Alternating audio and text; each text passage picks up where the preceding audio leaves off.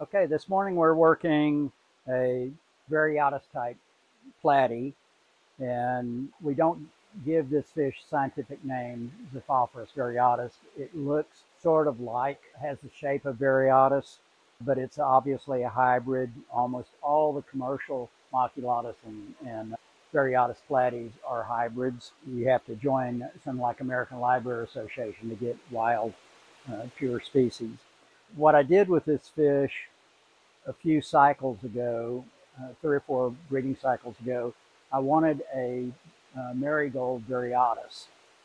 And I had marigold maculatus. So what I did was take some sunset variatus, cross them to the Mary, marigold vari maculatus, and then started selecting for variatus type shape. And I'm going to show you, this is a sample of what we were getting in this cycle. I'll show you some of the breeders and what we look for. Of course, we look for a nice marigold. This is a more of a, this is a sunset female. Sunsets carry marigold as a recessive, but they have this dominant color that dulls out the marigold.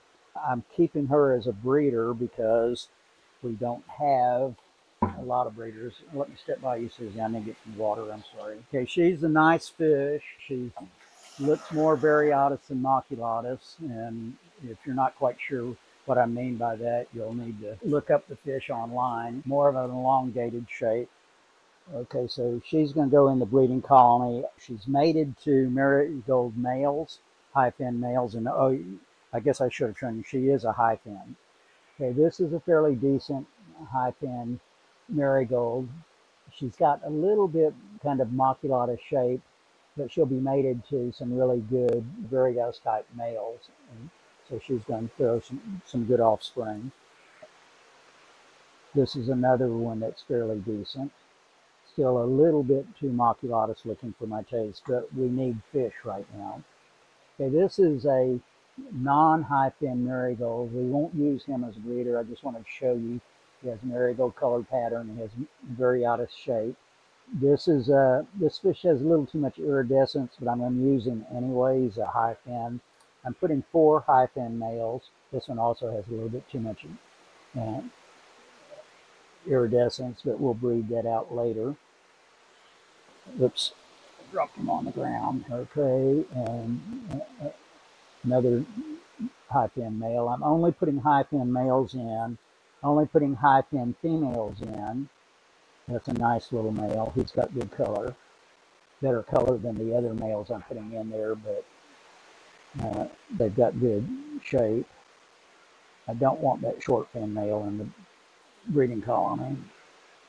That is a non-high fin female. She won't go in the breeding colony, but she's a marigold. She's a little bit too maculatus for my taste, but she'll work.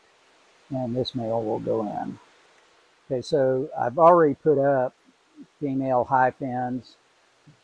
Pick up Kate over there. Kate's sorting the last of the high fin females out for me to take a look at. I did use some non-high fin females with the high fin males because they look like good variatus.